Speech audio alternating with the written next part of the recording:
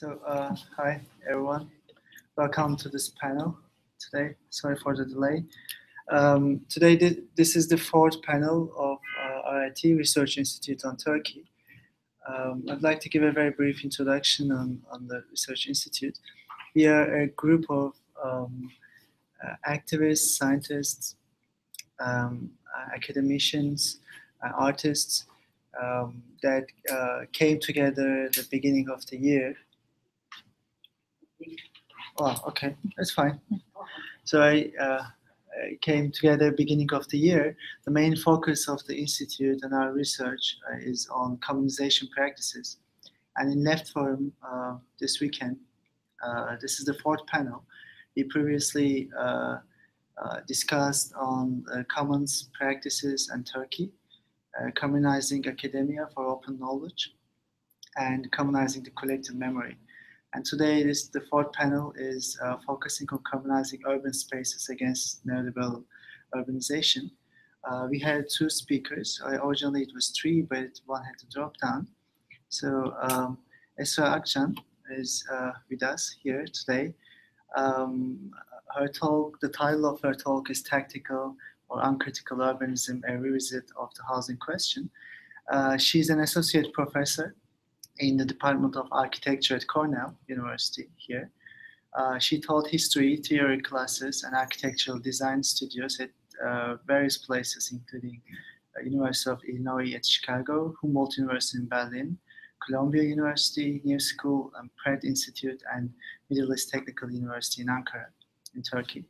Uh, she's author of several books, including The Architecture and Translation, uh, published in 2012, and uh, Turkey Modern Architectures in History, um, uh, published in 2012. Um, and our second speaker uh, will be Emre Cetin Gürer. He's going to probably be connecting us via uh, Skype, and then I, will introduce him then. Now, um, I'm looking forward to your talk. Thank you.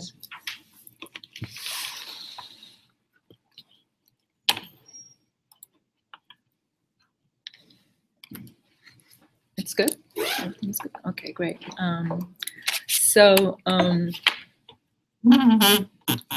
more than a century after Karl Marx and Friedrich Engels identified the housing question as an intrinsic crisis of capitalist societies, the lack of affordable and sustainable housing still remains as one of the biggest challenges of world cities today.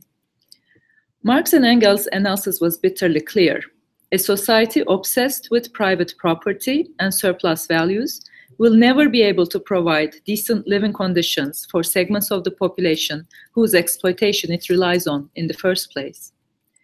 Approximately a century later, the United Nations exposed that almost a billion people of the world's population live in illegal housing in an environment out of social contract without adequate infrastructure, waste collecting, or public services.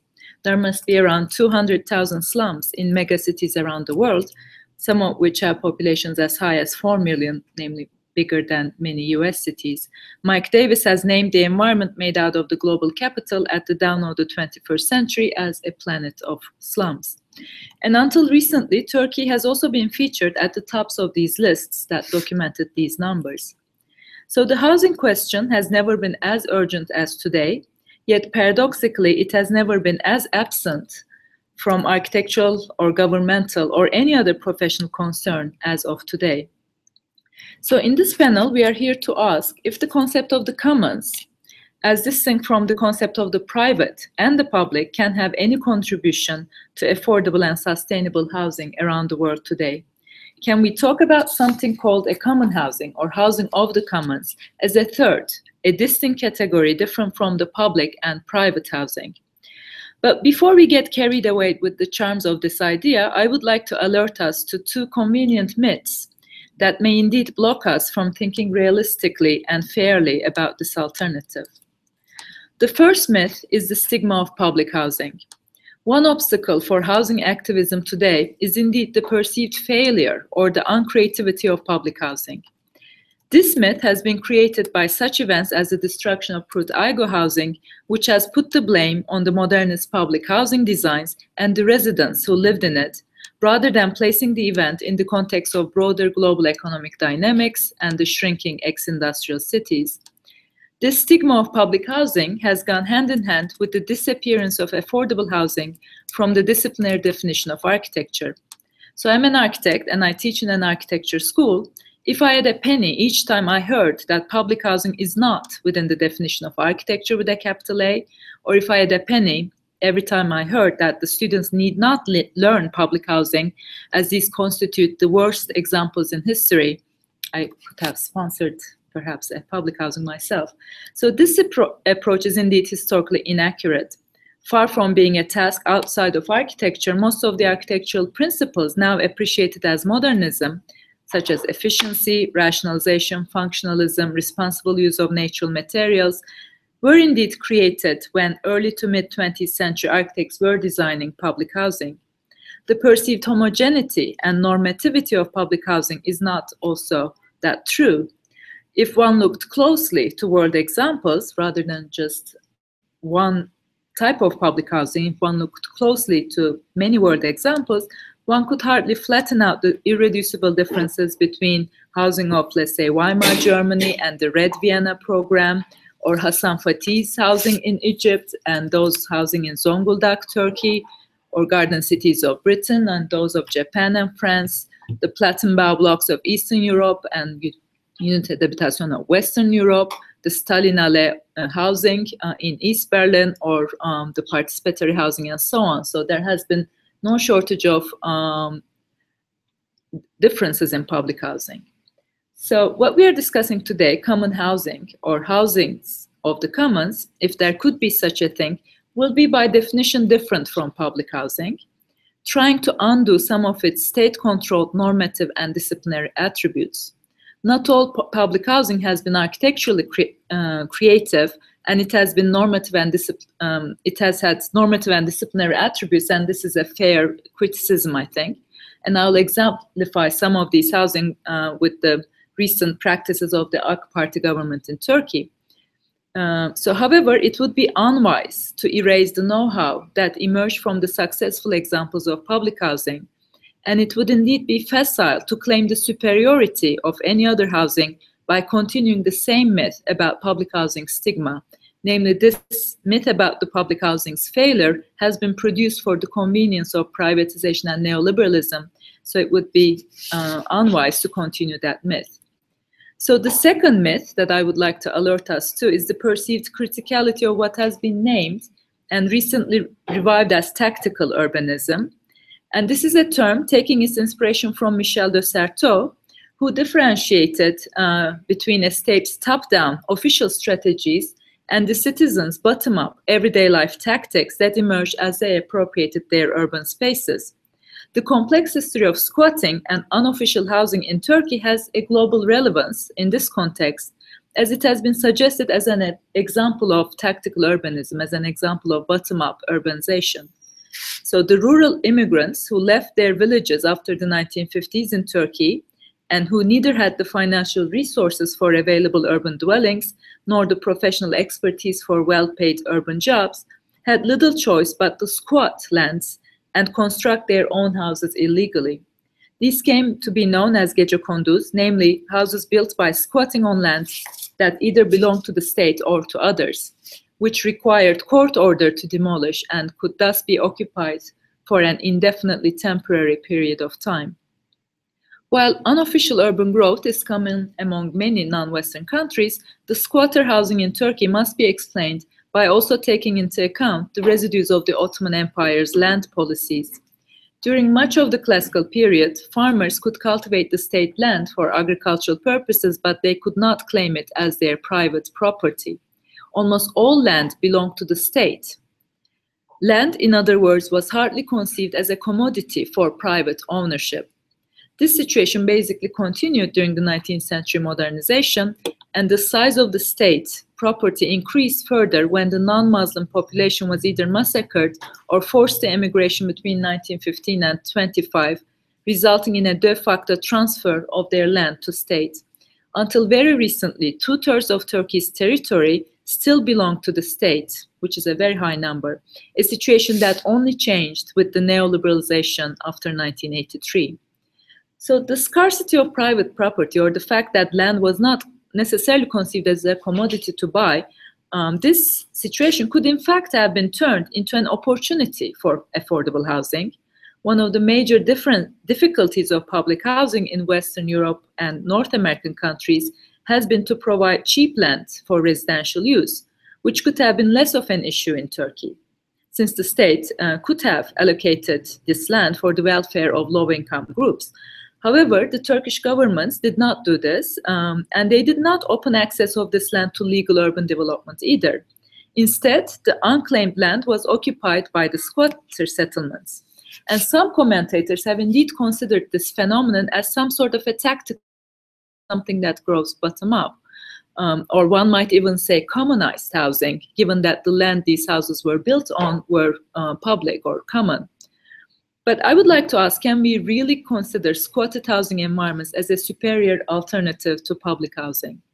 A quick historical overview might be helpful to see how this deceptively tactical urbanism or housing on commonized land was indeed either convenient or co-opted into the dominant state system. So let me go over a very quick overview. So the first uh, squatter settlements of Turkey were constructed as early as 1940s in Ankara, Istanbul, and relatively later in Izmir. According to official calculations, during the early 1960s, 60% of Ankara's population resided in squatter settlements, more than 50%. So 53 in Erzincan's, 45 in Istanbul and Adana's, 34 of Izmir's. These settlements were officially defined in 1966 in Turkish law as buildings erected against the legal planning and building construction regulations. So these single story houses were built rapidly. Um, these are some very early pictures of them using ad hoc materials in the surroundings. They were additive, uh, namely, they were originally built in one night as one to two room shelters, but um, they became larger as new members of the family migrated. Adobe, wood, or if available, stone were used for walls Oilcloth or tin plate covered the roofs and the floors were left exposed without a slab. As the houses expanded, residents used more durable materials that were locally manufactured, such as brick and metals. In time, settlers built grocery stores, coffee houses, barber shops, turning the settlements into semi-sufficient neighborhoods, and they even built real estate offices so that settlers coming from similar regions agglomerated in the same settlements to benefit from the solidarity of their hometown dwellers hemşeri. Uh, one of the biggest problems in these areas, as well as their biggest toll on cities, was their environmental and sanitation problems due to the lack of infrastructure and public municipal services, including the sewage system, water management, waste collecting, transportation, electricity, drainage of rainwater.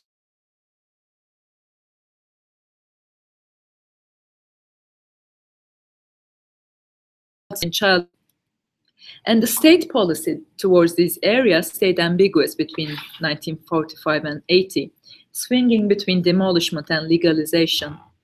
With the law of 1948, Ankara was entitled to deliver land to residents living in squatter houses to put an end to illegal development. The law of 1953, which stayed effective till 66, legalized previously built houses, but also authorize municipalities to demolish further settlements. The five-year development plans of 1960s and 70s suggested that settlements be destroyed only after the proper replacement of residents. Throughout the 1970s, there were several armed battles between squatter residents and state officials over the demolishment of their houses. Meanwhile, copious amnesty laws, Yasası of 1953, 1963, 66, 76, legalized the previously illegal houses in some neighborhoods. It has not escaped the public that these amnesty laws were granted especially before the elections and the political parties used uh, squatter legalization as a campaign tool. So how did this happen? Were the forces of history so unavoidable that half of the urban residents lived in illegal houses across Turkey? How come Turkish governments could not or did not prevent squatting? Was the state helpless in the face of rapid modernization and urbanization, or did it support tactical urbanism? Or rather, did the state turn a blind eye to squatter its long-term impacts so as to allocate the country's resources elsewhere. For example, during this period, public housing funds were used for the benefit of upper and middle income groups for the cooperative uh, housing rather than the benefit of the rural immigrants. According to İlhan Tekeli, as self-built solutions to workers' housing, squatters not only provided cheap labor for the industry, but also decreased the amount of resources to be allocated for urbanization. Namely, squatters, which was a problem from an urban planner's viewpoint, was a solution from the viewpoint of the capitalists. So this history took a slightly different turn uh, when with Turkey's participation in the neoliberal world economy in the 1980s, where governments rushed to open state land to privatization. As I mentioned, before uh, neoliberalization, two-thirds of the territory belonged to the state, and after 1980s, there was a rush to private, privatization of land. A series of amnesty laws after 1980 broadened the legalization uh, policies of the previous governments. For instance, the uh, amnesty law of 1984 made it much easier for settlers to apply for license. Those who owned more than one squatter house could claim rights to legalization, and this made it effortless for the entrepreneurial spirit of the squatter profiteers to take advantage of the authorization process. Another significant dis, uh, difference of the amnesty laws was their transformative effect on the city fabric, changing it from low-rise, irregular ad hoc houses to large anonymous apartment blocks. Up to four-story high buildings could now be constructed on the existing irregular fabric of the previously squatted areas, making amnesty law no longer a public aid for the urban poor who had self-built their shelters, but a new urban development strategy. This urban development strategy was named as Rehabilitative Master Plan, İslah İmar Planı, and this strategy drastically changed the physical environment and opened squatter zones to unprecedented real estate investment.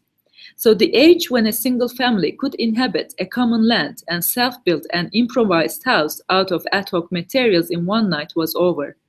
Instead, apartment buildings with minimal city services improper infrastructure, and inappropriate sanitation measures, and constructed out of concrete without adhering to structural regulations in high risk earthquake zones proliferated.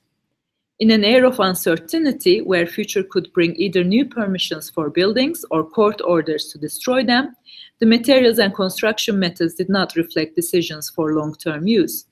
For example, developers left steel bars jutting out of the reinforced concrete columns for a possible extension to the upper floor, regardless of the fact that this made the buildings even more vulnerable to earthquake. In an area without a predetermined plan, multiple lane asphalt roads, uh, roads uh, could be connected to unfinished dirt pathways, some of the infrastructure that carried the municipal services to semi-legal buildings were constructed after the fact, so electrical wires, sets of pipelines, ducts, uh, uh, lied on the street waiting to be built. In brief, perpetuation of the incomplete and lack of faith in the formal characterized the built environment of this shady real estate.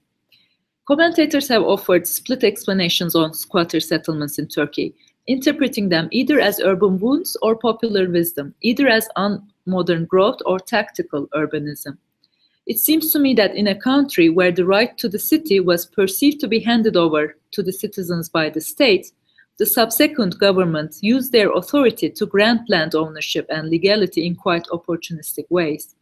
The illegal housing turned out to be quite convenient for the state institutions that presumed to define legality tactical urbanism or housing on commonized land served as a convenient tool for the dominant system throughout the second half of the 20th century.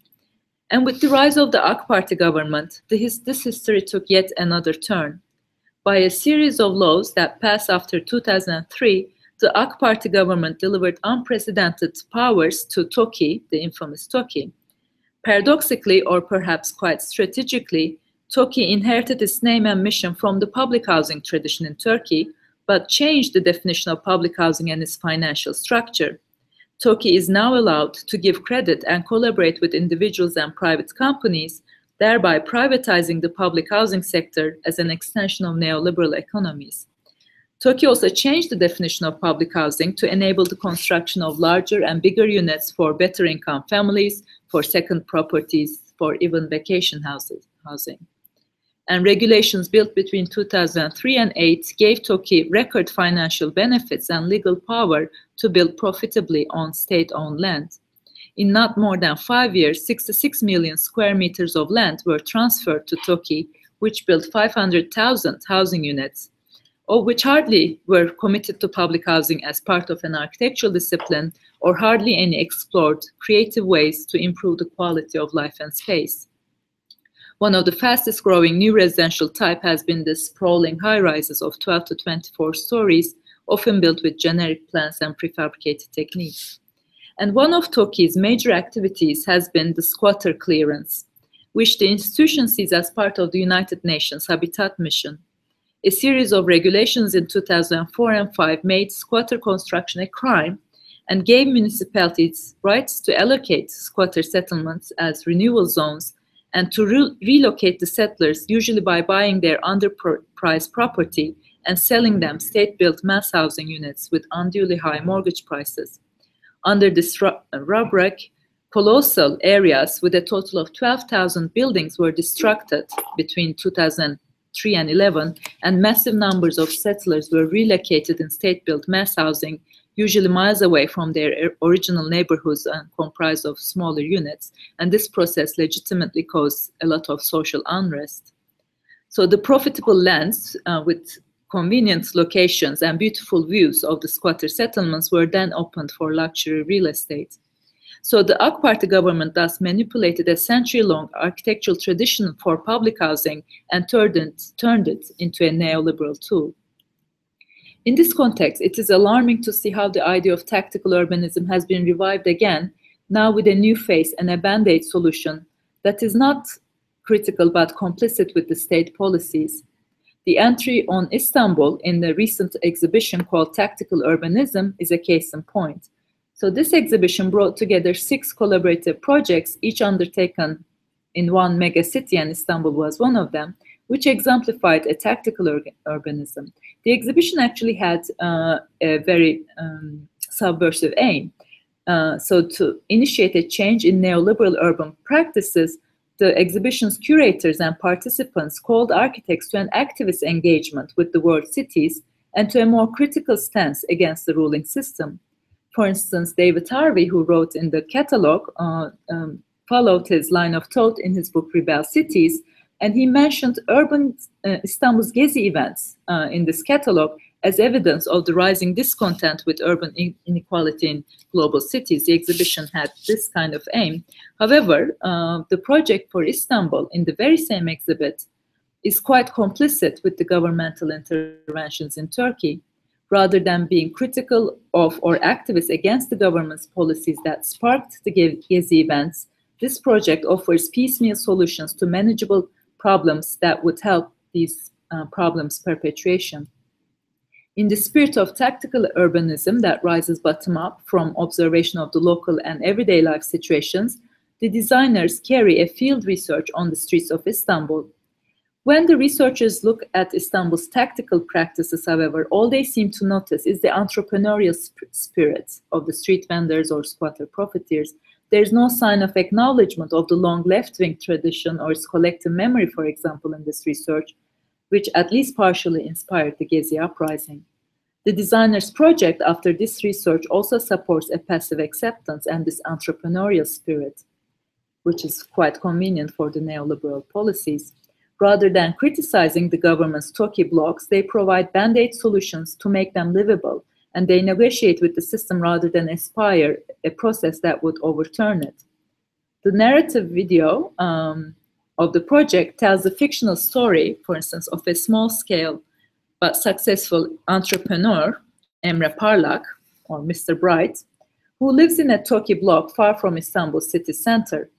Rather than being a victim of his uh, situation or rather than rebelling against the government's policies, Parlak starts a small business in the settlement, which instantly picks up, soon spreads through the intelligent use of social media and everyday communication technologies, and it inspires other entrepreneurial residents to start similar smaller businesses and eventually these businesses turn the Toki blocks into more social and green environments.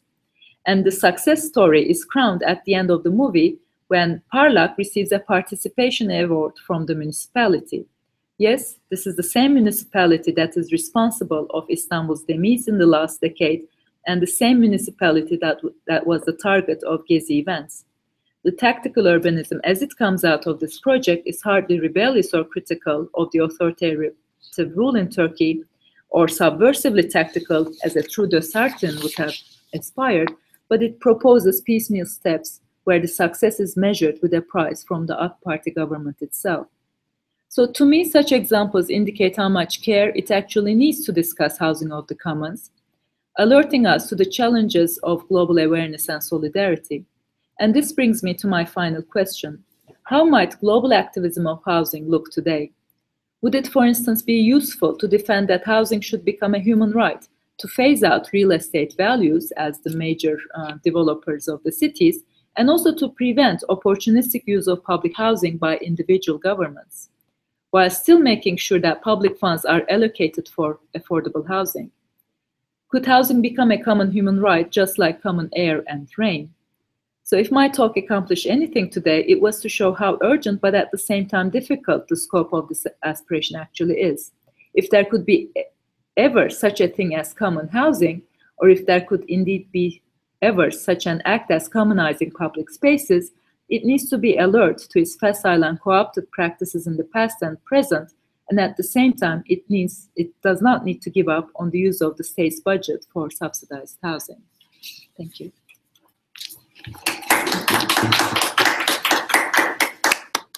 Thank you.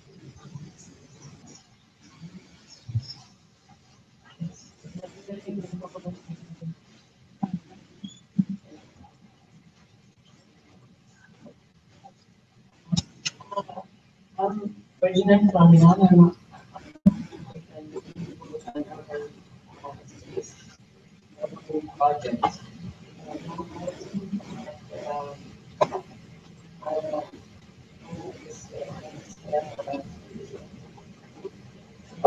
always a mission art. Mhm. And uh, the like the process that you said and how uh, for me it's really interesting how it's similar. Mhm. Some of the same happens in the Iran, Mhm. but the only difference is when uh, in some period that you don't know which government you have, uh, people could become more established and in a first period of after revolution. In that period, they could, like lots of engineers and students, that helped them to have the infrastructure that they need. Mhm. Uh, and city was helping because it was not that uh, established or neoliberal yet. Mhm.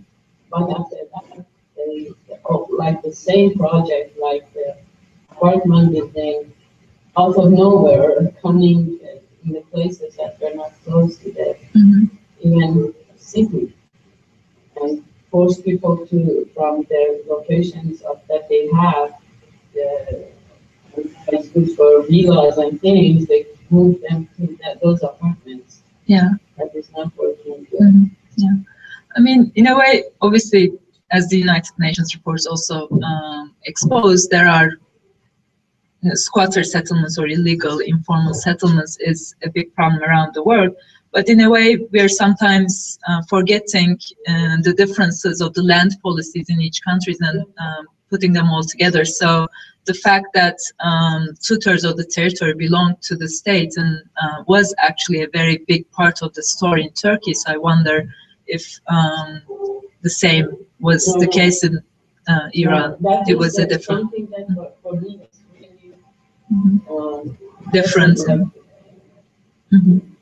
is different. like. No, it's different. For land in the, uh, not in the urban area. Other hand, there is like the tradition, if some farmers work in some land, it's, they can co- uh, use their land for agriculture, but they cannot settle in that land. And it's not known, there are, mm, some parts that is belong to government, but not all. Mhm. Uh, it was really uh, change their story, how can they can interfere in Yeah. the process. What they are. Yeah, in Turkey, that definitely is a very integral part of the story that may not be true in other No, no. countries. Yeah.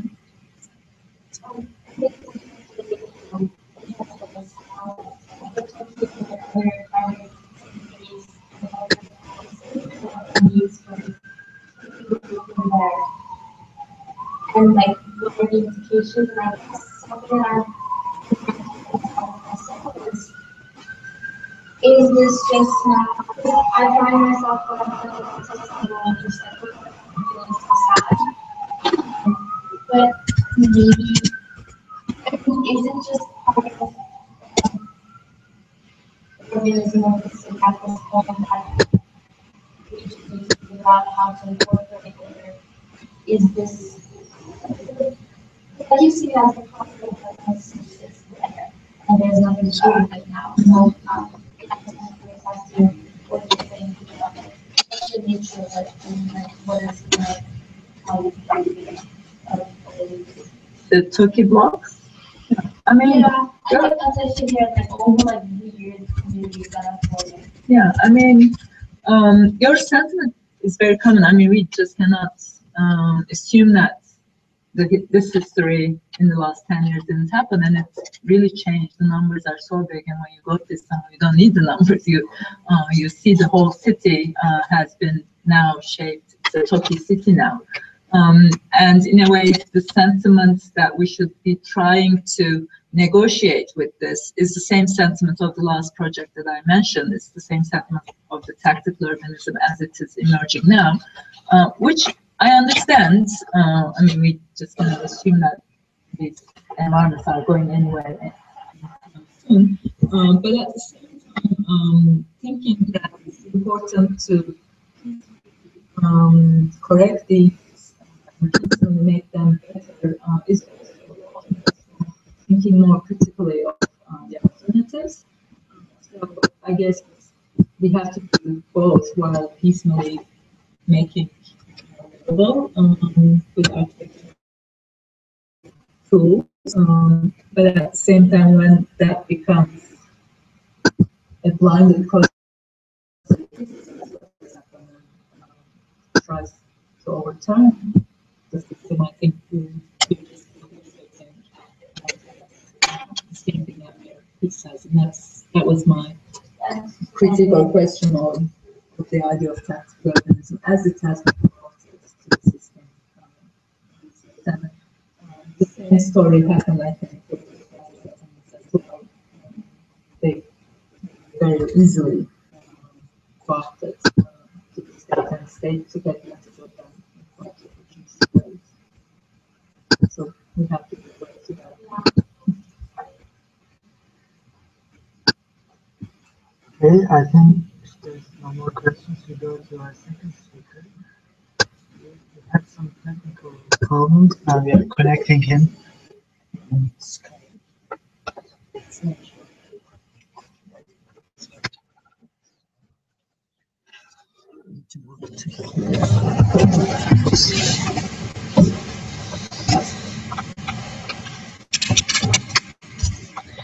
Hi, Cetin, can you hear us? Okay, great. Just a second. I'm gonna put you on.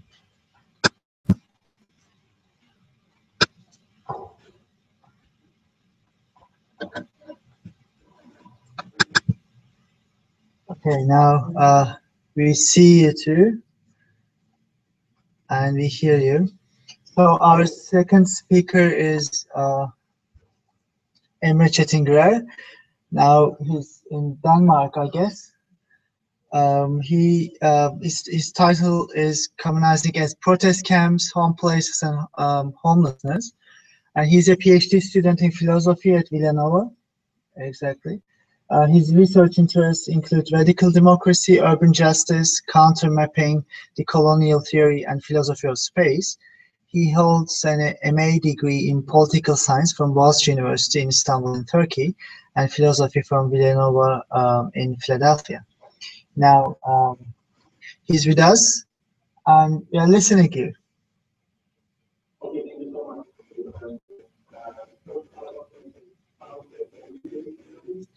Yes, we can hear you well, I think.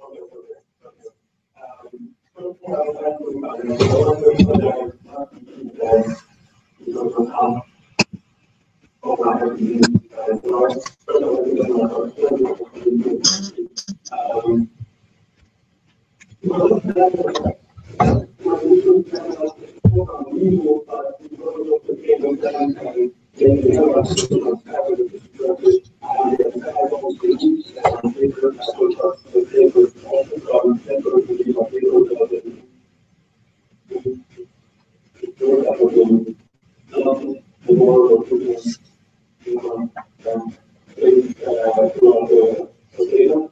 Um, and so also, uh, our houses are actually focused on homelessness and homelessness. Um, it may sound complicated to talk about homelessness, uh, because we started uh, using the conflict of long term uh, social experience of COVID and uh, however, uh, the government does not involve in the conflict, making up to the conflict and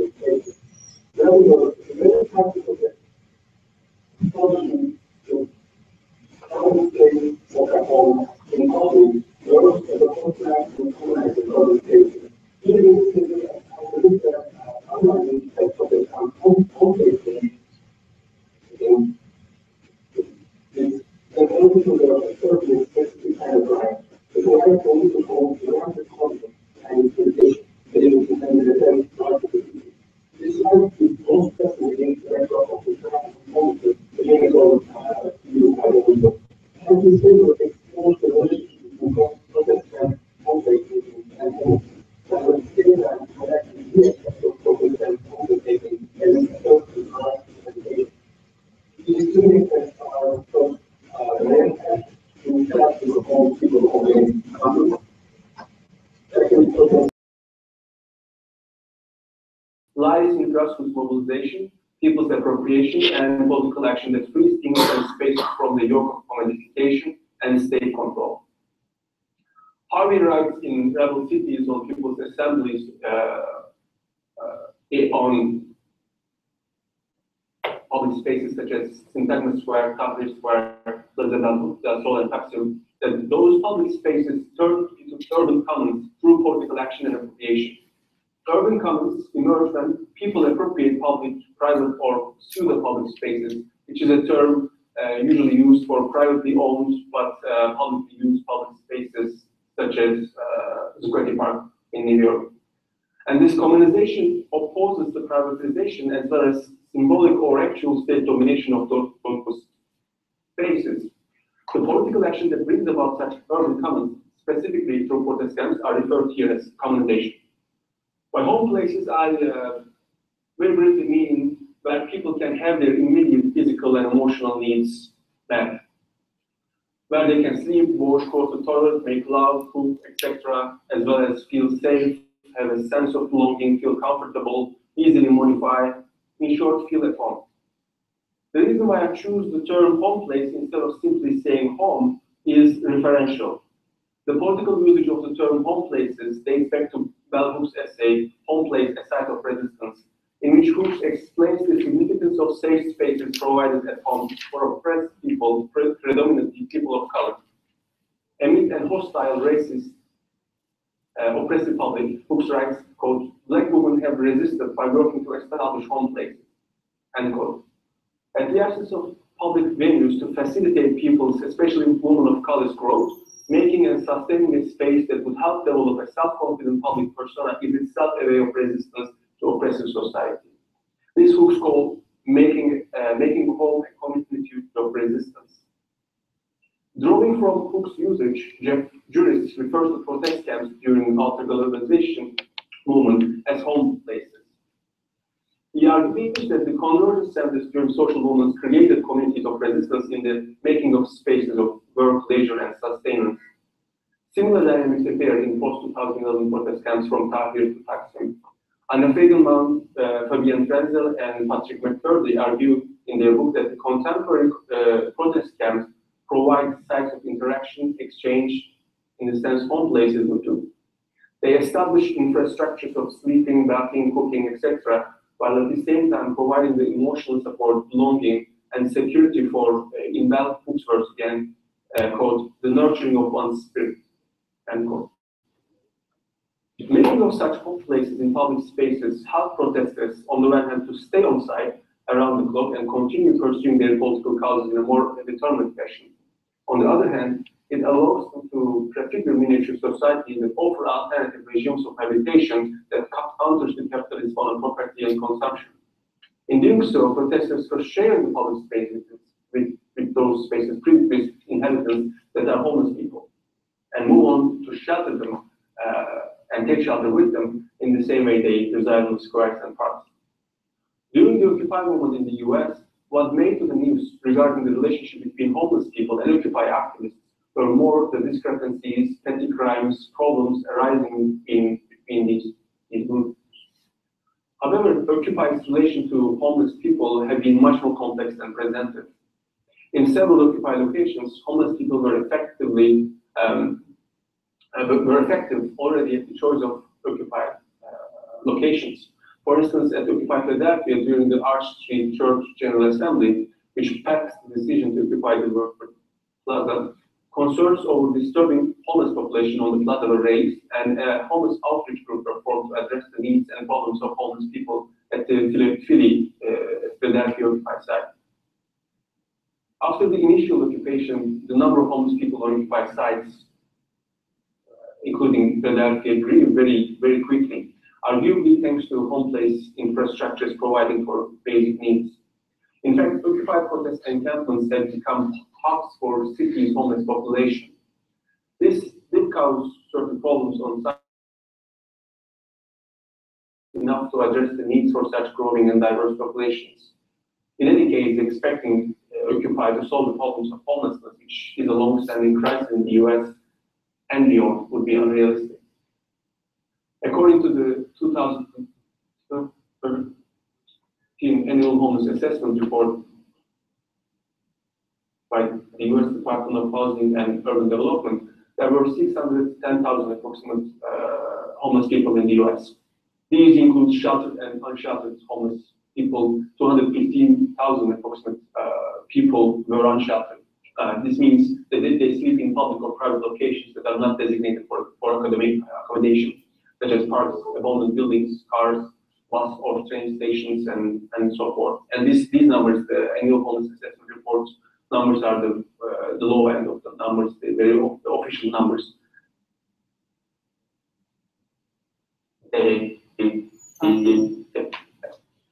Um, there are other reports that actually give uh, higher numbers.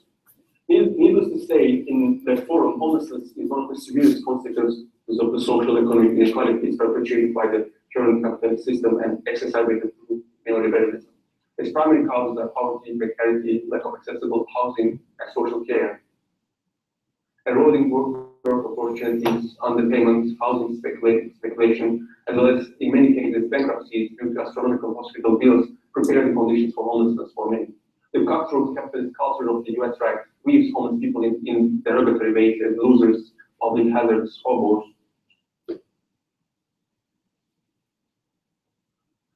that they deserve the maltreatment they are subjected to.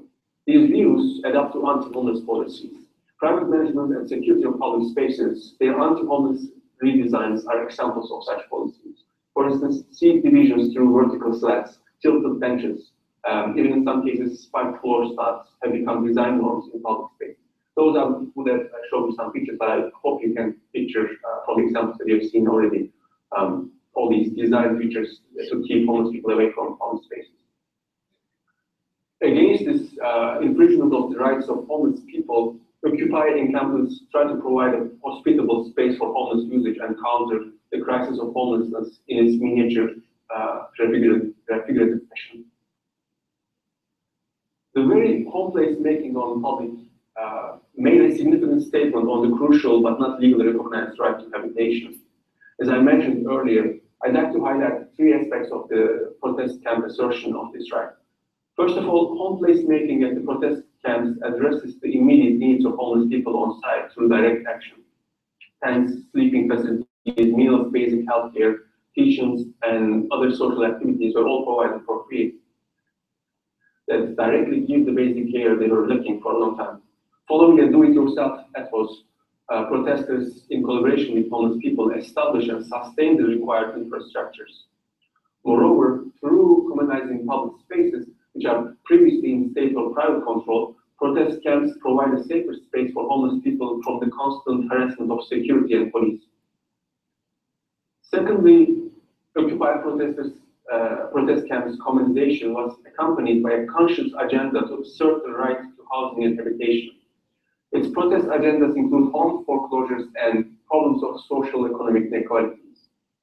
Following the financial crisis uh, in the US uh, of uh, 2007 and 8, the explosion of what is usually referred as the housing bubble caused many families to lose their homes to banks.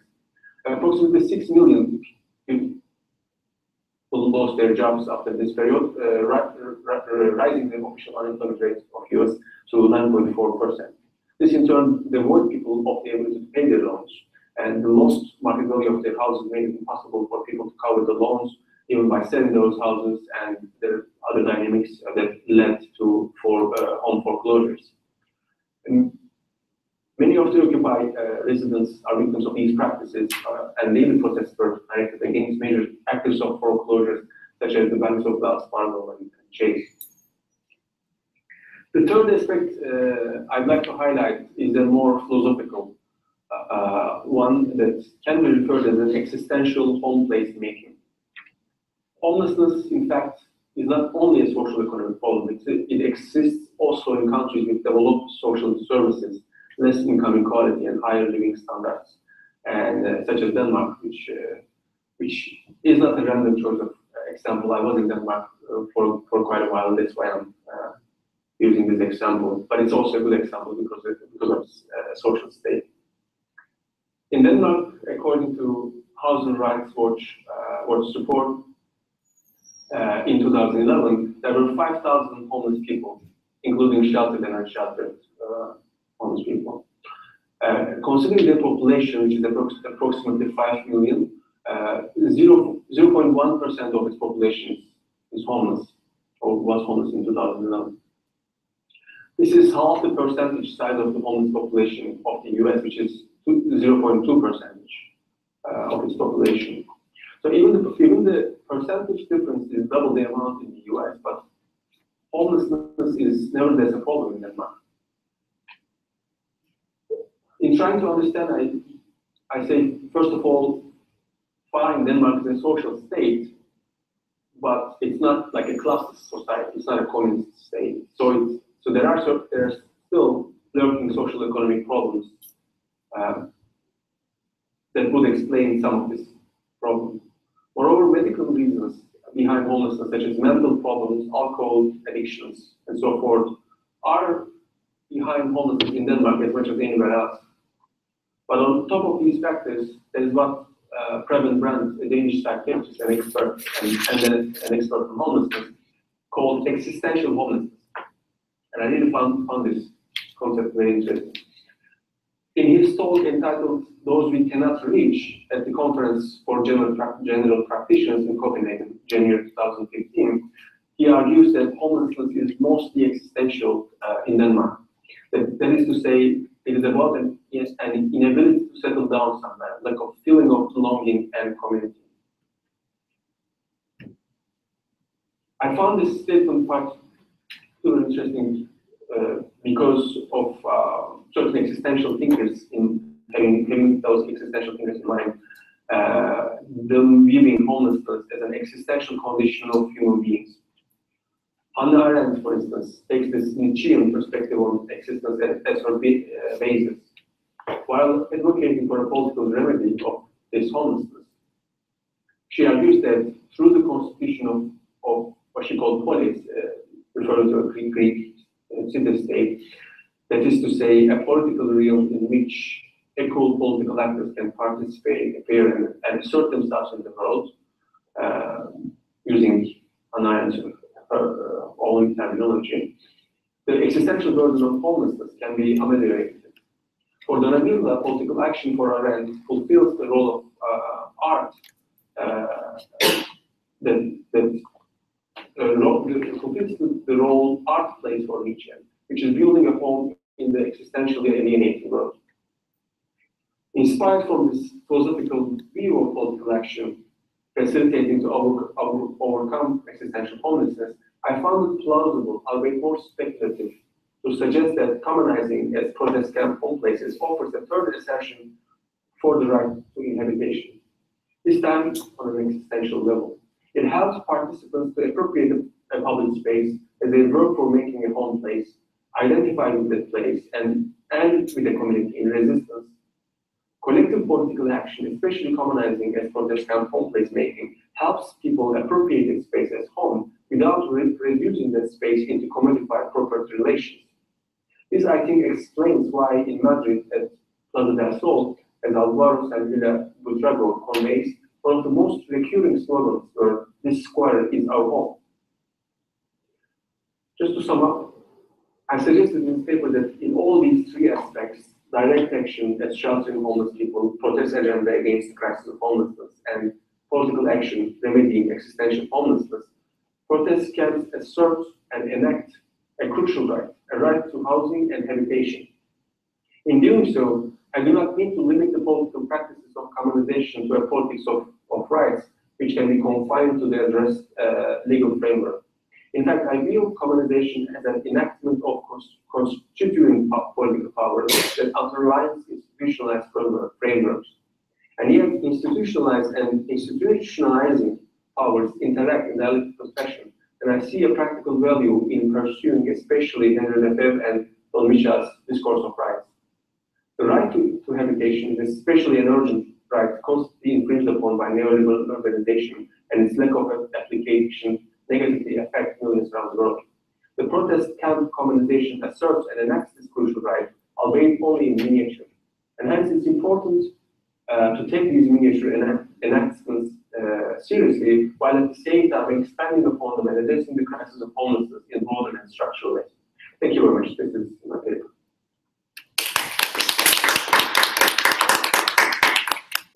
Thanks, Cetin, for your presentation. Um, are there any questions to him?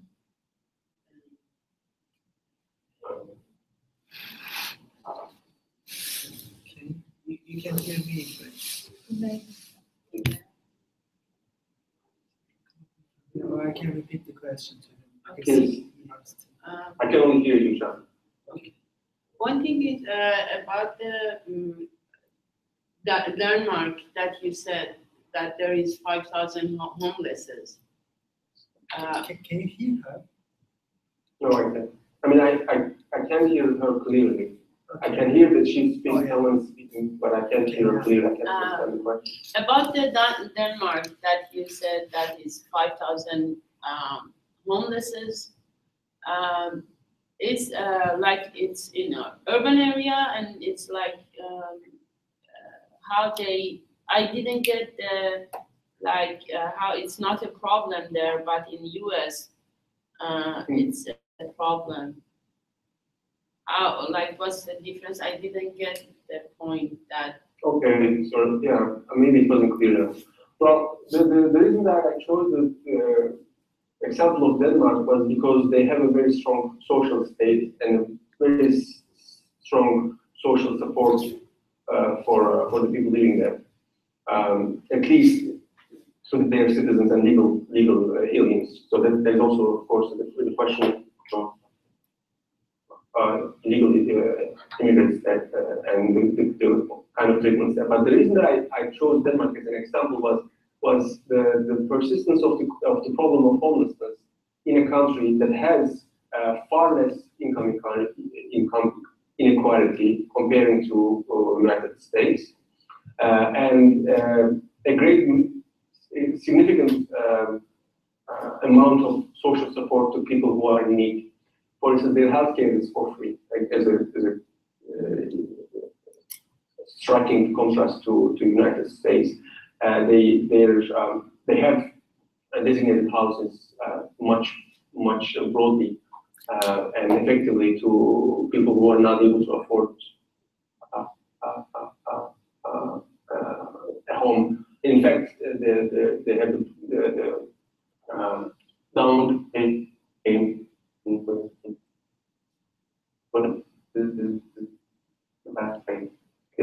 certain citizenship payments uh, in case of, uh, of, of uh, following a certain, being unemployed, payments and so on and so forth. So and the, the social state in Denmark uh, overall is much more powerful than, than, than US and, and still they're suffering from this, this problem of, of homelessness. That's, so that's one of the reason why I chose this example. And I was referring to this Danish doctor's um, presentation who's, who thinks, I mean, this can be discussed definitely, who thinks the, the homelessness is an existential problem in Denmark because he thinks like a person can actually, uh, even though they're coming from a, a, a poor background or in even mentally uh, unhealthy, they uh, wouldn't fall um, so deep as someone would fall in the United States, because the social state would somehow pull them up.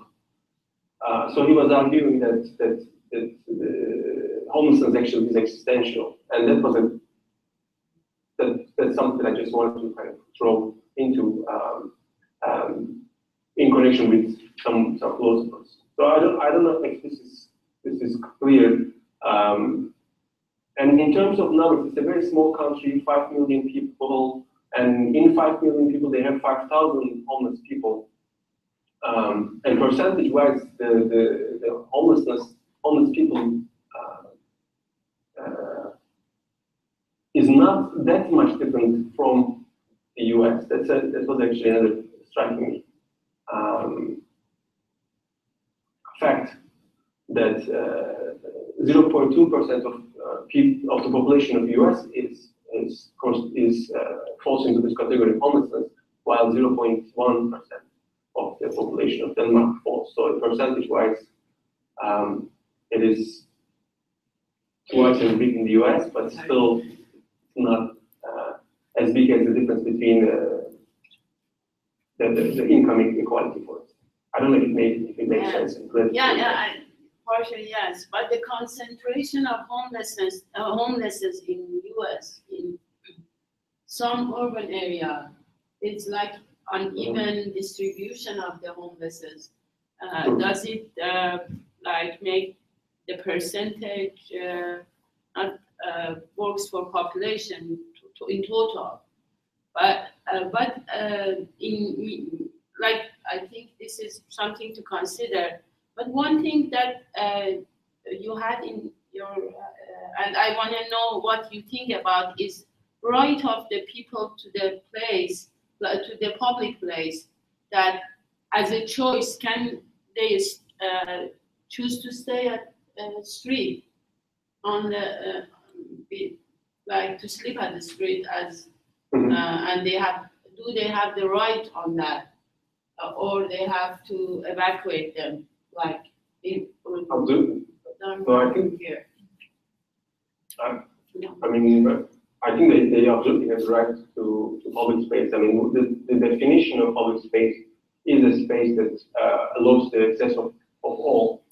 Uh, and hence everyone has to, to have and, uh, and then, and then uh, have a right to use those spaces. That's, that's absolutely the, the case. I, I think mm, what I, what I uh, didn't touch upon here much, but I was uh, problematized is the, the loss of public spaces uh, which would be uh, a certain kind of design, a certain kind of management, um, uh, and change of ownership of, of such spaces so that homeless people, or many other people actually, it's not just homeless people, but usually those spaces are transformed into uh, uh, spaces that, that are like more cons- consumption spaces, so to say. So instead of being public spaces, they become more like consumer space that only uh, a certain population, a population of, of buyers can, can use. So that's actually a very significant loss of, uh, of an urban environment, and hence um, the public spaces have to be have to be uh, protected. The, the right to stay in in in a public space, the, the right to live, um, it's not, I mean, there are also people who are um, choosing that as a lifestyle and having kind of coming from a certain privilege to have that choice, and I totally respect that, and I think it should completely be open to that.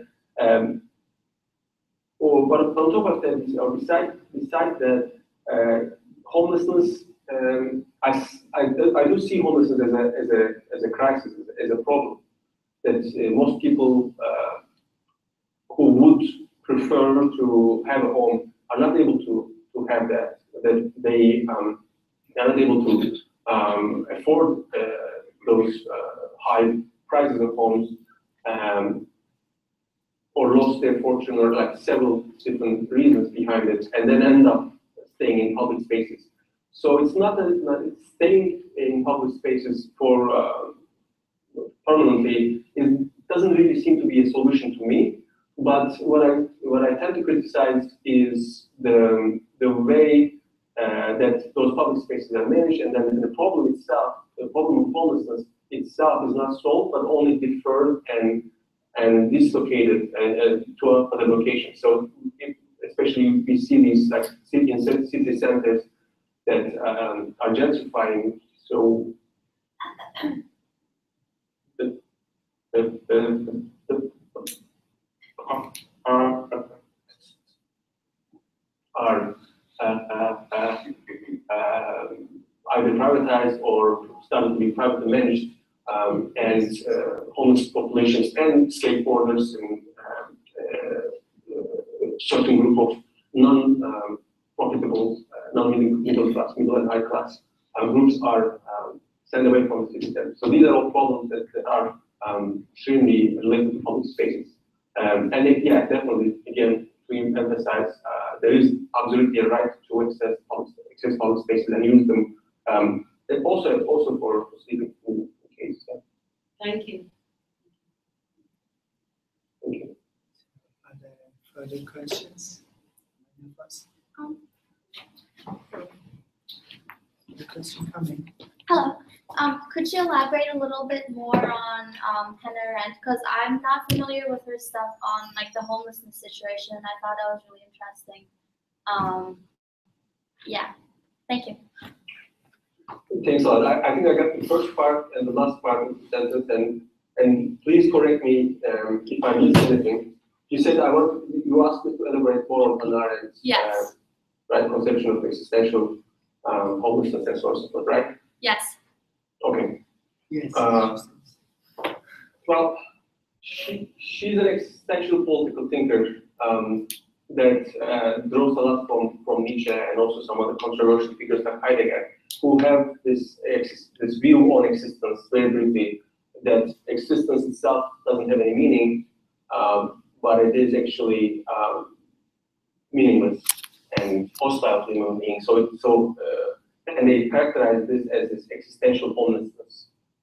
So human beings are homeless uh, in the world, and, and for Nietzsche, for instance, art is a way of making home out of this uh, existential homelessness of human beings. So this is a condition of, of human. For Hannah Arendt, it is politics, uh, the, the way to make home from within um, this existential homelessness is, is politics, and she has a very specific kind of uh, understanding of politics that uh, pertains to direct uh, or to democracy, um, uh, direct action and, and performative action, which uh, would take so much time to, to, to delve into them right now. But her idea is to, create a certain political realm among equals that allow people to, um, in her terms, experience freedom. Because freedom can only be experienced in the public, public uh, realm. And by virtue of establishing such kind of thing, which in my lifetime, the closest thing that I've ever seen was was the protest camps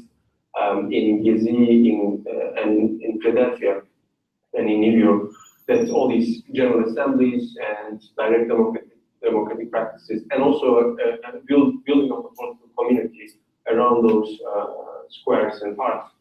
Um, that's why I thought uh, it is very close to Hannah Arendt's understanding of, of the remedy of existential homelessness um, those public spaces, those uh, direct democratic political uh, uh, practices. I have a question. So I don't know if, if this clarifies a little bit. Um, and if there is any, any, something very specific that you'd like to, you'd like me to address, I can also. It Talk was a about great it. answer.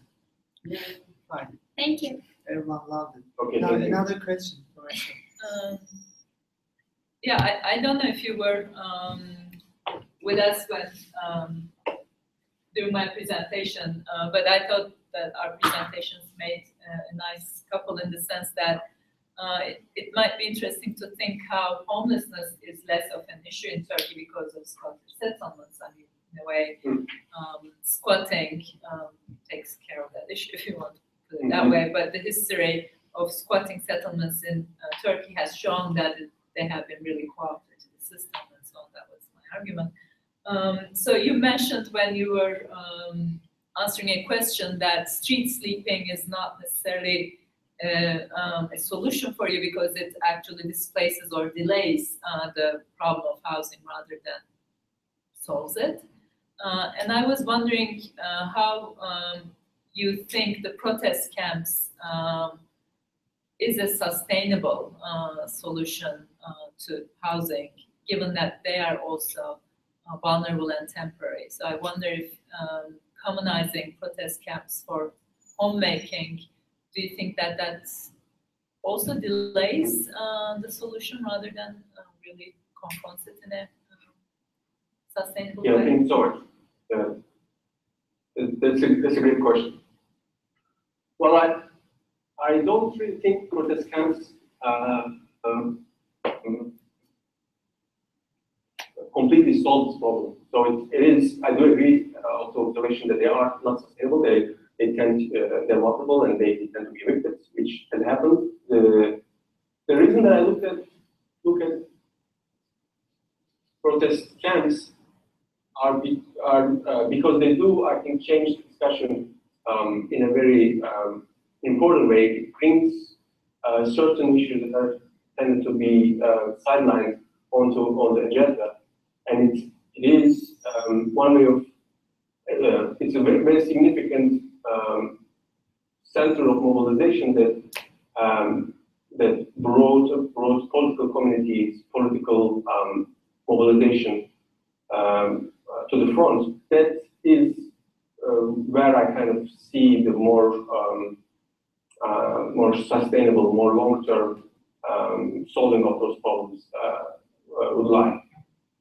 Um, so I don't know if it addresses your concerns in, in in that sense, but I, it, it is important, for instance, not not to um, overestimate what to expect from those protest camps and the mobilizations around them. But at the same time, I think, very significant to kind of uh, take them seriously and see what what statements were enacted and what, what statements were uh, were were uh, uh, asserted on those camps, uh, in and in which ways and what we can learn from them and what and what we can implement further um, from them.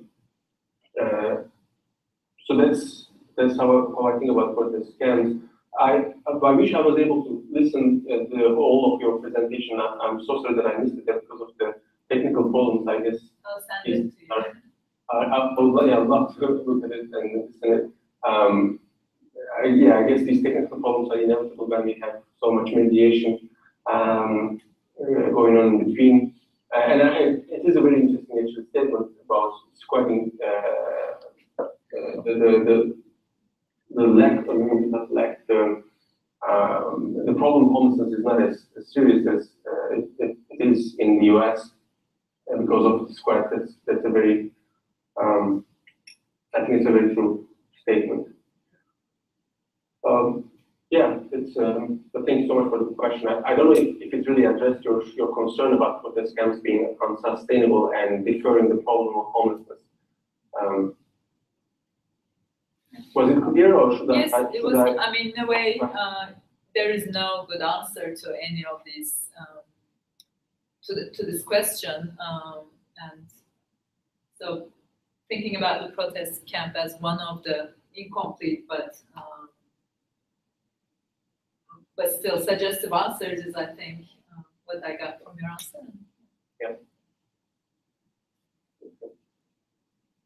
If there are no further questions, I'd like to close the session. I th- thank our speakers. Uh, Thank you, Esra, and thank you, Cetin. And I'd like to thank you for your participation. Thank you very much. Thank you. Thank you. It was great.